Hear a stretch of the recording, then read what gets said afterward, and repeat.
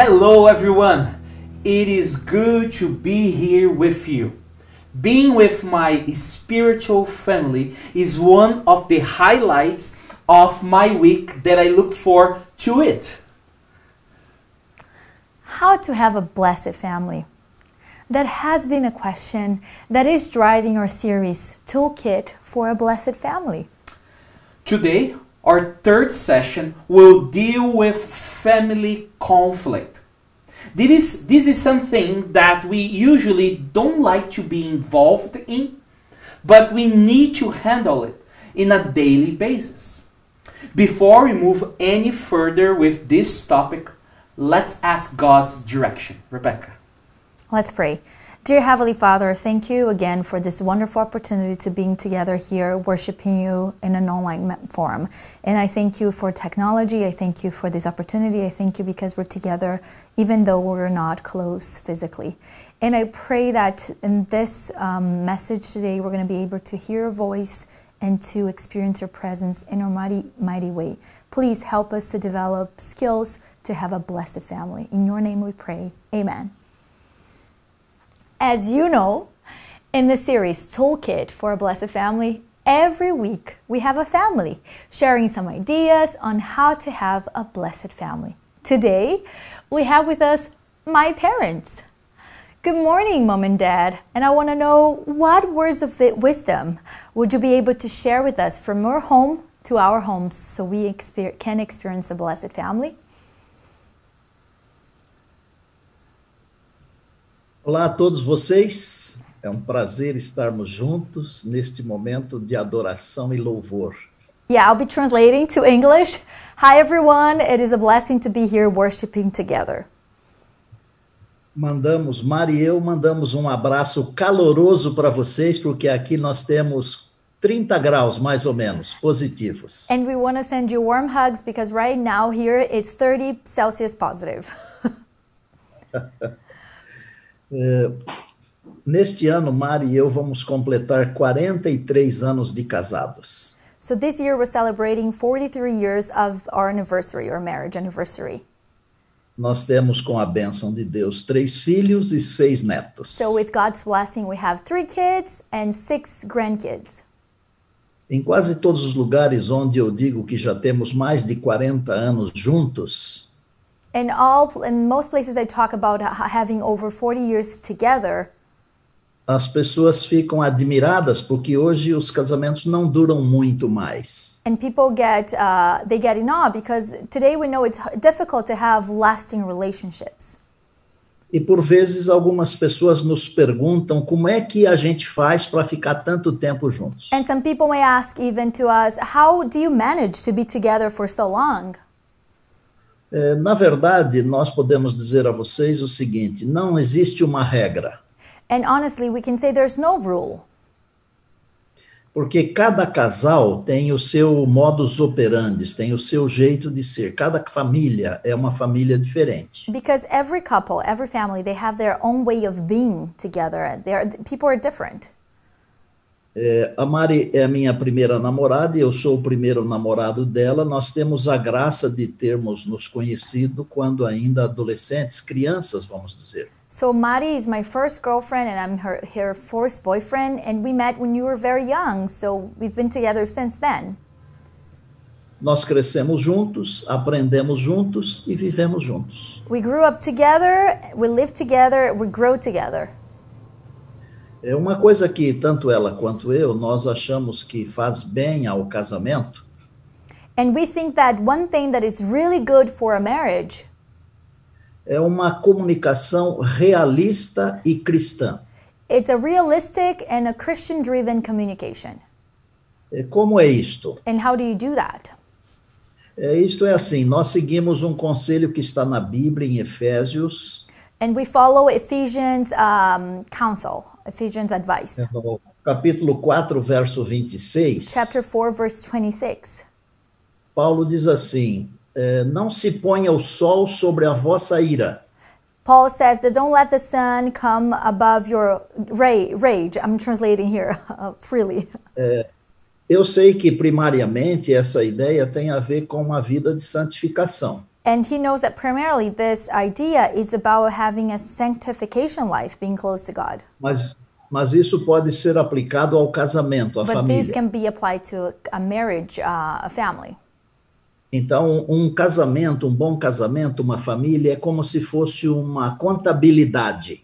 Um, it's like math when it comes to couples and families, onde nós fazemos um fechamento todos os dias. where we have, uh, I forgot the name of that, but where we have, uh, how to say, Closing. a closing in the end of the day of that math.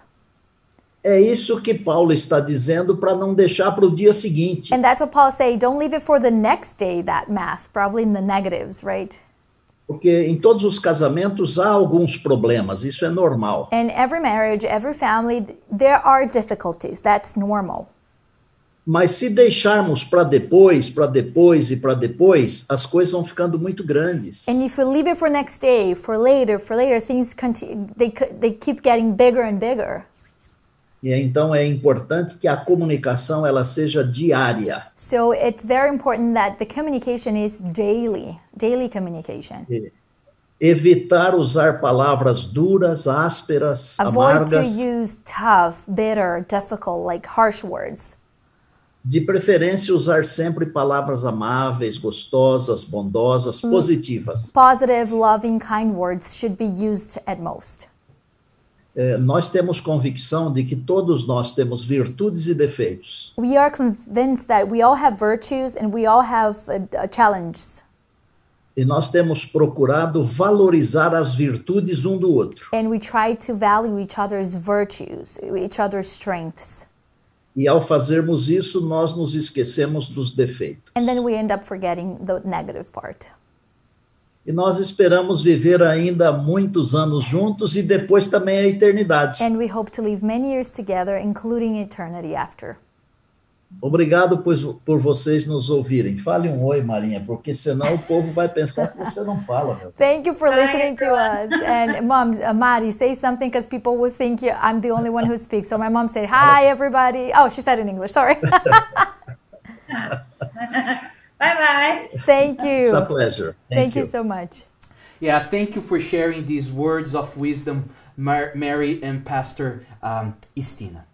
Uh, since we are talking today about family conflict, let me ask you when you when you see the word conflict, what do you think of? Let's turn to Poll Everywhere for a live interaction. Let's see what you have to share with us. So, when you see the word conflict, what do you think of? And I think the first word came is Fighting, war. Huh. offenses,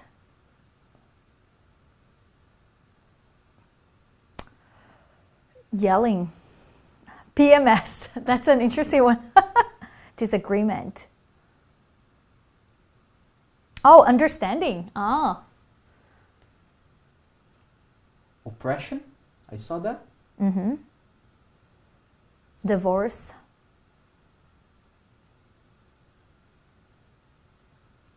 Different opinion. I see that one. Yelling.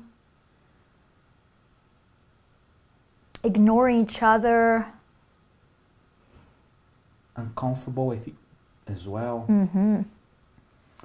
Well, many important ideas. Jesus, he was very clear in his statement. If a house is divided against itself, that house will not be able to stand. For this reason, a blessed family handles their conflict fairly. Blessed families are able to work through things they disagree about rather than tearing each other down. When we are talking about family conflicts, the question is not if your family will face a conflict, but when. Family conflicts is ine- ine- inevitable. All families have conflicts. It's a, a natural part of human relationships. When different views, needs, or beliefs clash, the family members experience conflict. Sometimes conflict can occur when people misunderstand each other and jump to the wrong conclusions. I'm sure you've noticed that we have the most intense conflicts at our home, with our family, with the people closest to us. They are the conflicts that bring us the most pain, make us suffer, and distress us. The reality is that family conflict, conflict is the price we pay for a deep level of intimacy. I repeat, family conflict is the price we pay for a deep level of intimacy we need to keep in mind that conflict is not necessarily good or bad. How we deal with it, how we fight the conflict can be good, bad, or even crazy.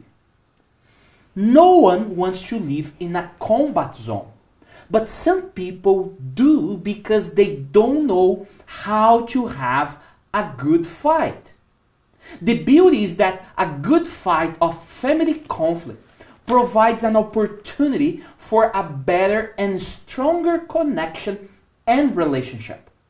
A good conflict brings intimacy and resolve.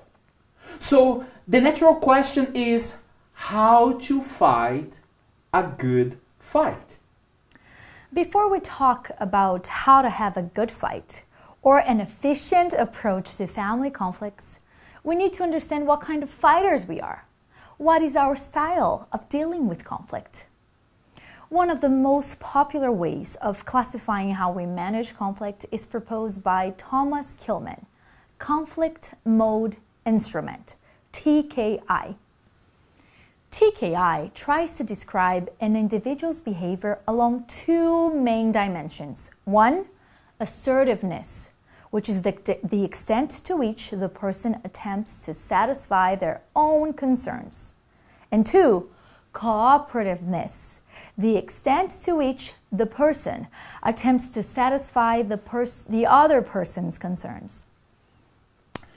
These two underlying dimensions of human behavior, assertiveness and cooperativeness, can then be uh, used to define five different models of responding to conflict situations competing, accommodating, avoiding, collaborating, and compromising. Let's try to briefly understand these five models of conflict management. In other words, five kinds of fighters. Pay attention and try to identify what kind of fighter you are. Ah, and as we describe the five models, we will exemplify with short videos, short video clips of one of the most loved TV series, Friends. The first one is competing, the win lose approach. Competing is assertive and uncooperative. An individual pursues his own concerns at the other person's expense. This is a power oriented mode in which you see whatever power seems you sorry, you see whatever power seems appropriate to win your own position. Your ability to argue, your rank, your economic sanctions. Competing means, means standing up for your rights, defending a position which you believe is correct, or simply trying to win.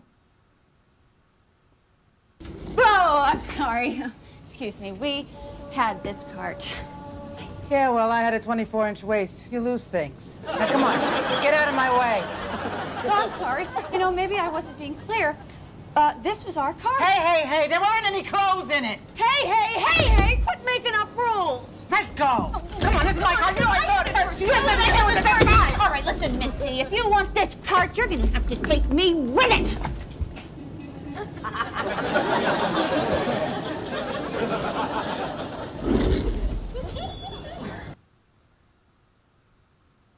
The second one is accommodating.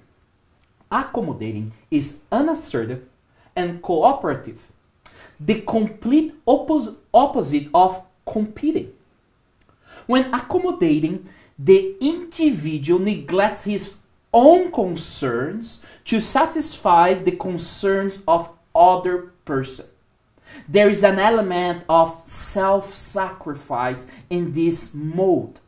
Accommodating might take the form of selflessness, generosity, or charity, obeying another person's uh, order when you would prefer not to or will to another's points of view.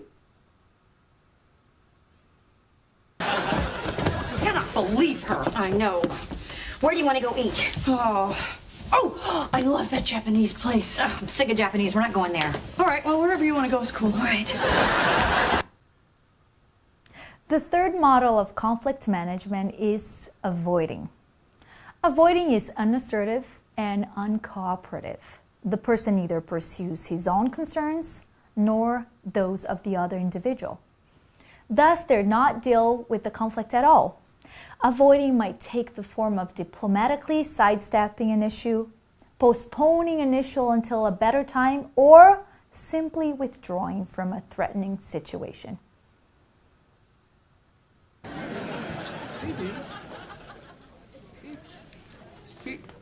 Phoebe? Come on. Oh, I'm sorry, I didn't see you there. Phoebe, are, are you mad at me or something? Because if you are, please tell me what it is I did. Well, if you don't know, I can't help you. Well, I don't know. Well, I can't help you. The fourth one is collaborating. Collaborating is both assertive and cooperative, the complete opposite of avoiding. Collaborating involves an attempt to work with others to find some solution that fully satisfy, satisfies their concerns. It means digging into an issue to pinpoint the underlying needs and wants of the two individuals. Collaborating between two persons might take the form of exploring a disagreement to, uh, to learn from each other's insight or trying to find a creative solution to an interpersonal problem.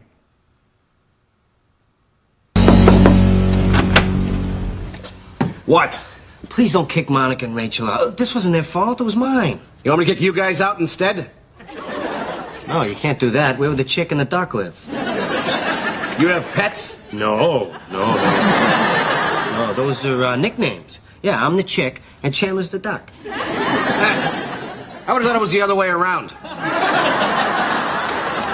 Come on, man. Just, just let the girls stay. I'll do whatever you want. Really? You do anything? Yeah, yeah, absolutely. Hey, I got something you can do. What? What? What is it? Can you be my dancing partner? The fifth and final model of dealing with conflict is compromising. Compromising is moderate in both assertiveness and cooperativeness.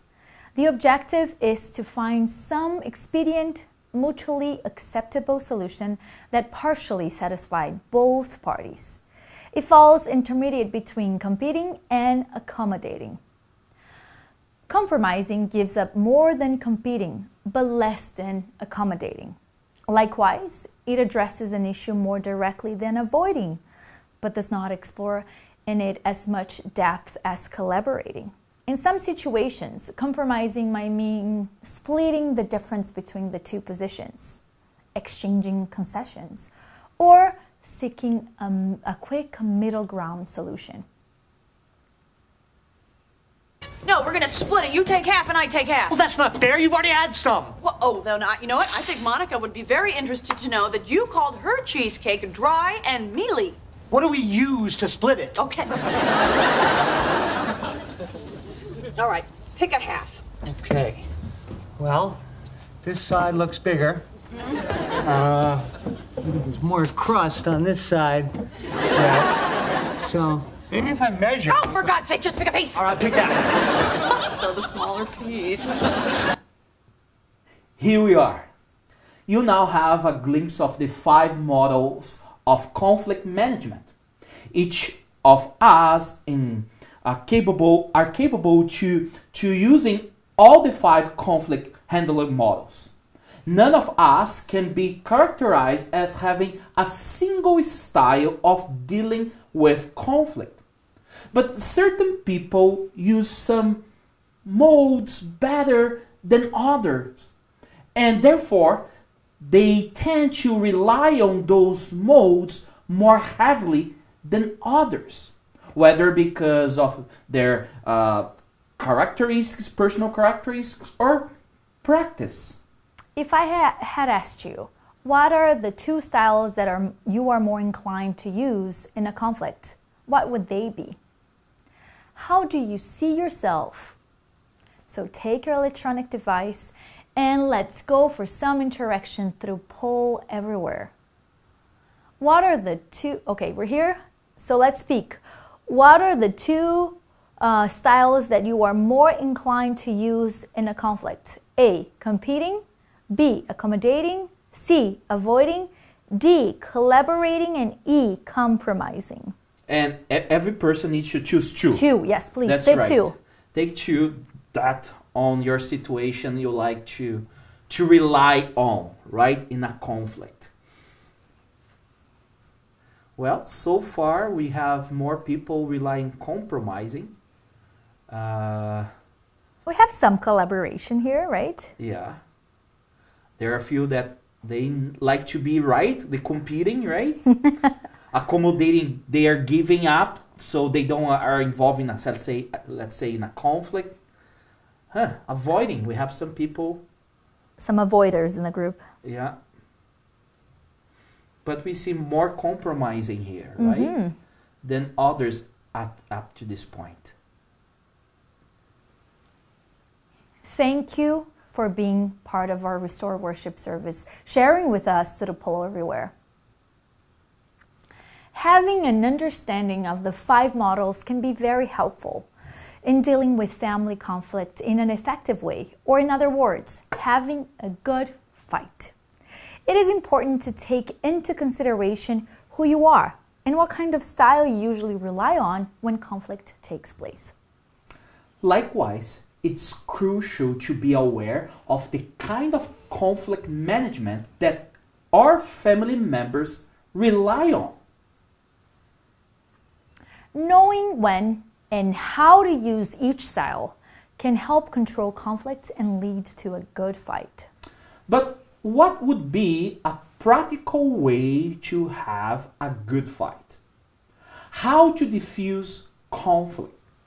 Pastor Chip Ingram, using the word diffuse, proposed an acrostic to provide a biblical solution to conflict resolution. The first letter of the word diffuse, D, stands for define the problem. Before you approach any family, family member and deal with the conflict, retreat and try to answer the question why is there a conflict in the first place? When did the conflict start? How do I feel about this? How would God see and act in such a situation? Pray to God. Ask for help to see the situation through His perspective. The second letter, the that's the uh, the second letter I stands for initiate a time to talk. Take the initiative. Sometimes our ego or even our feelings held us back from taking the first step. But take the lead. Choosing a wise time and a good location for a talk is crucial for a fair fight. Maybe you need to schedule this time when you're fresh and rested. You may need to find a different place to have this conversation other than your home. You may say, As I was alone, I thought about the issue, and I thought after dinner would be a good time for us to talk. You need to initiate a time to talk. The first F stands for focus on the problem. So, as you get together to talk, Start affirming the family member or members, demonstrating how important they are to you. Then, bring to their attention the issue that needs to be dealt with, stating the issue concisely and clearly focusing on the problem or behavior and not on the person. If possible, avoid sharing your own perspective or feeling about the issue at this point. Focusing on the problem means that you won't focus on the person. Don't use the words ought, should, always, never. You ought to do this. You should be doing this. You. That does not help. Focus on what the issue is. Do not bring up old issues and problems. These only distract from the present issue. You can discuss them later.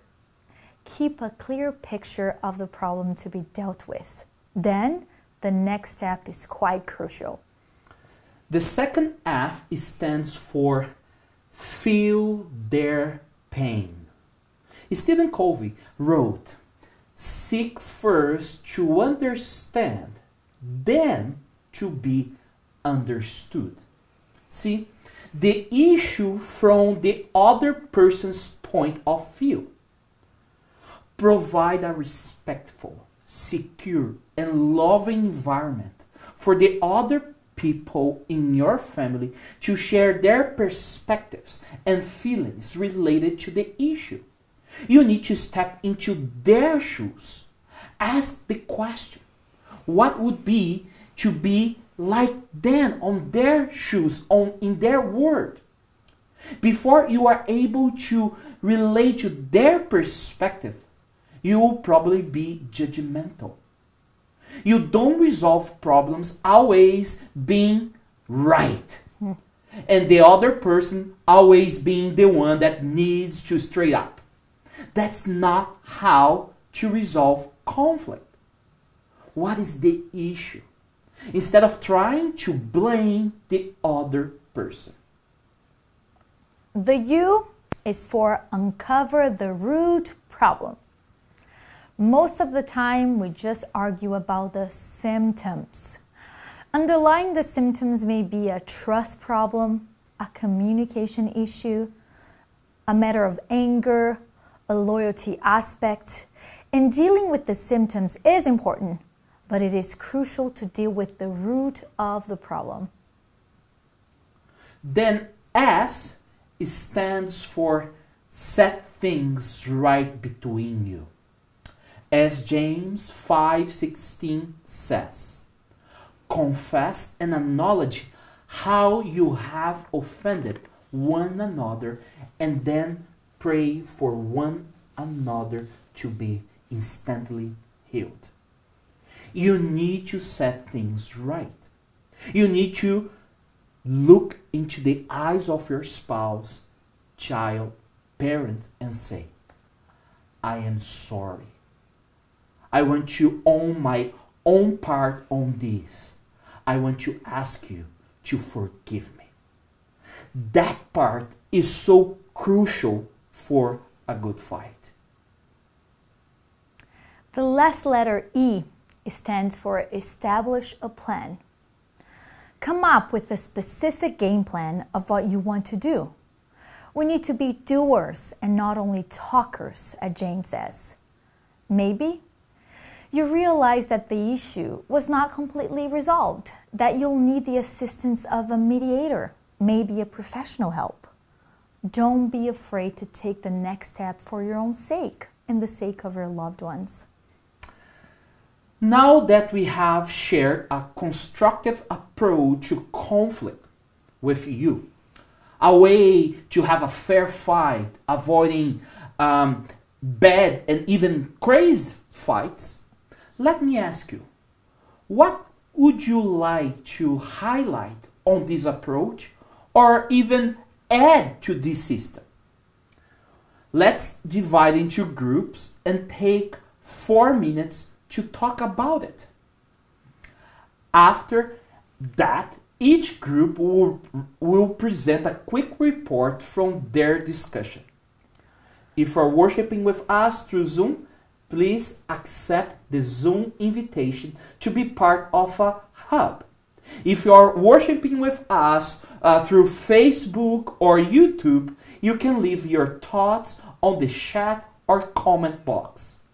See you in four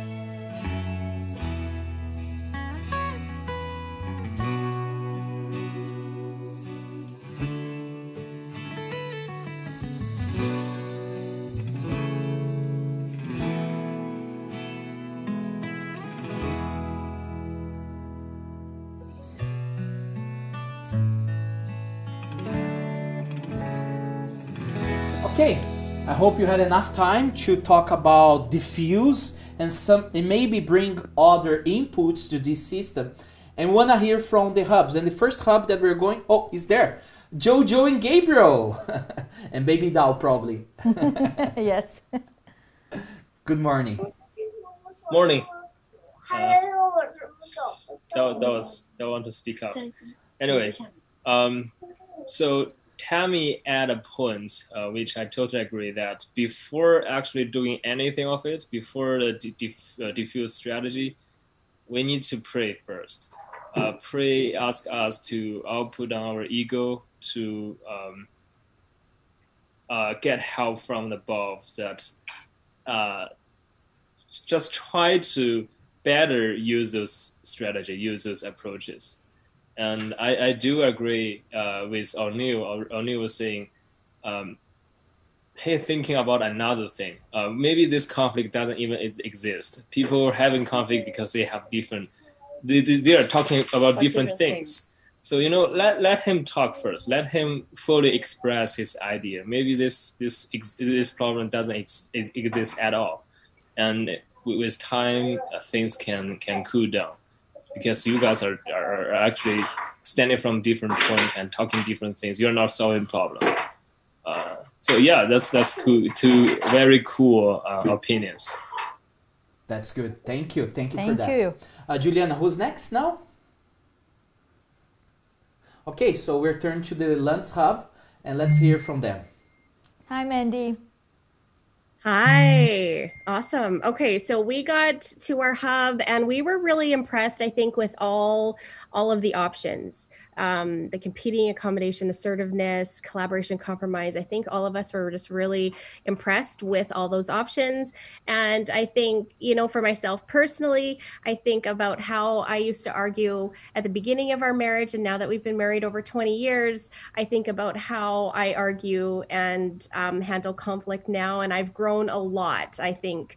Um, it's it's neat to learn skills though, and I think we always have to you know bring them up again and revisit these things because marriage is very difficult and it's always tough, even for those of us married 20 plus years and and those that have shared married for more. You know, it's something you consistently have to work on. So it's really good with conflict. Thank, Thank you. you. That was great. That was great. Okay, so now we're turned to the the right family, the right hub. Okay, so let's hear from them. Hi, Phil. Hi, Heather. Hi. Hi, everyone.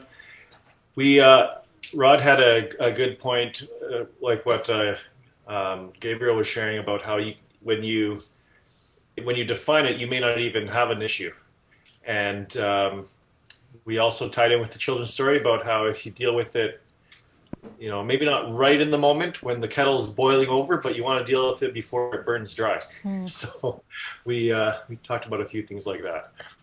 Thank you. That's great. Yeah, that's Okay, so we're turned now to the Paula's uh, hub. And I think Alex is going to oh, share okay. with us. Hi, yeah. Alex. Hello. Hi, everyone. I miss you all.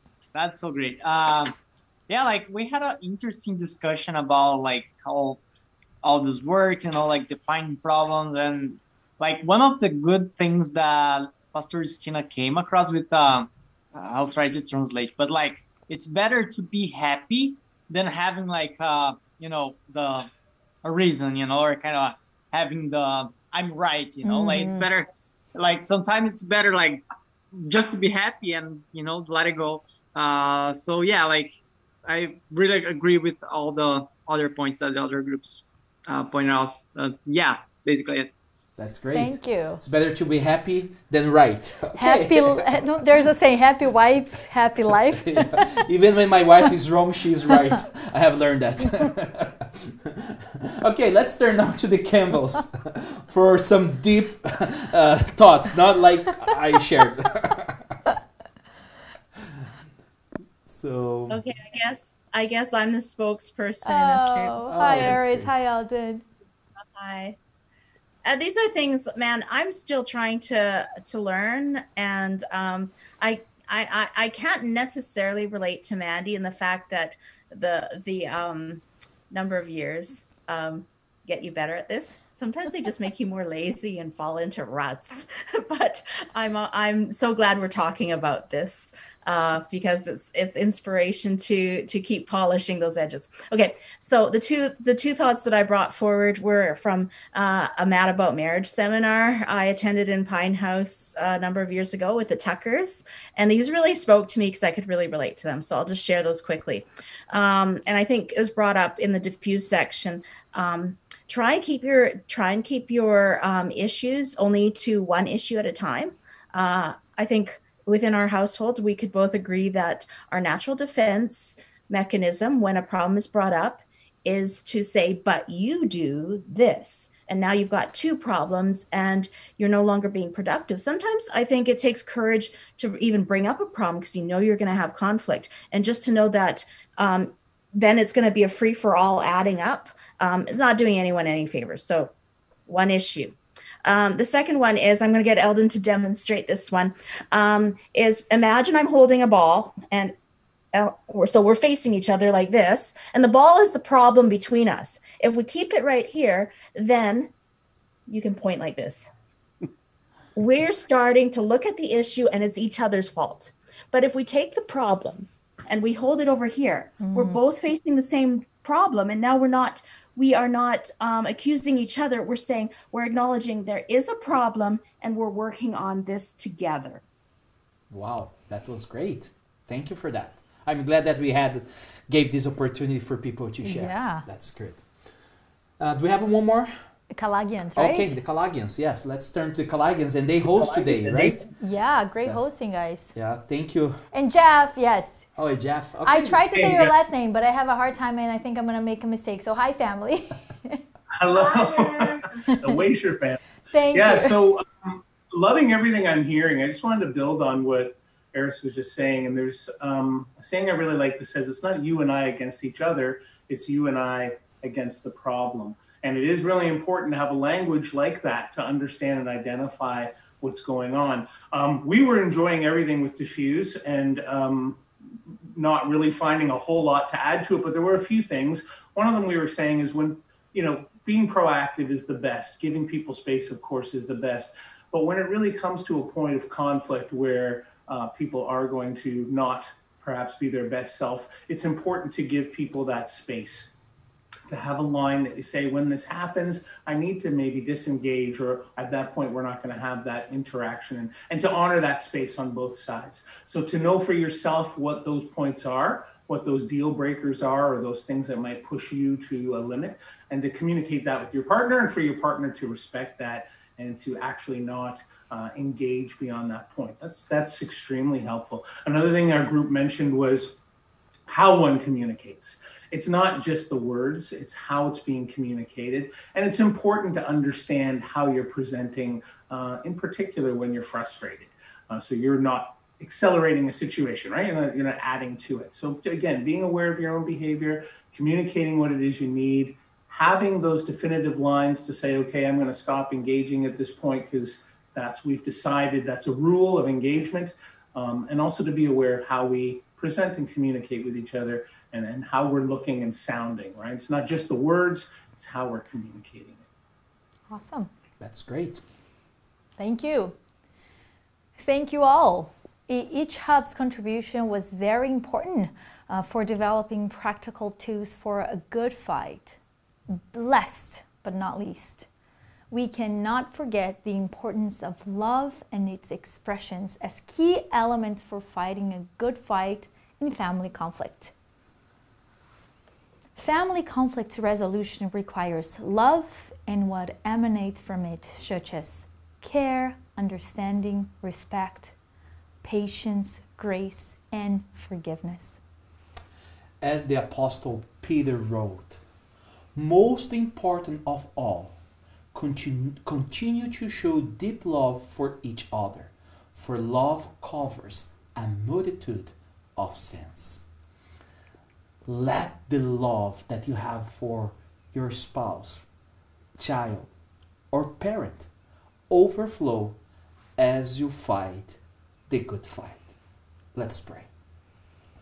Lord, thank you for creating us thank you for making everyone a unique person. And we praise you for the differences of feels, opinion, taste, preferences. And sometimes when there's a clash of those uniqueness, we may face some challenges. But I pray that everyone that is listening to my voice use those moments of conflict to bring them closer to one another and close to you. I pray that forgiveness, love, will manifest in a mighty way so your name may be glorified. Forgive our sins, Lord, and be with us. In Jesus' name we pray. Amen.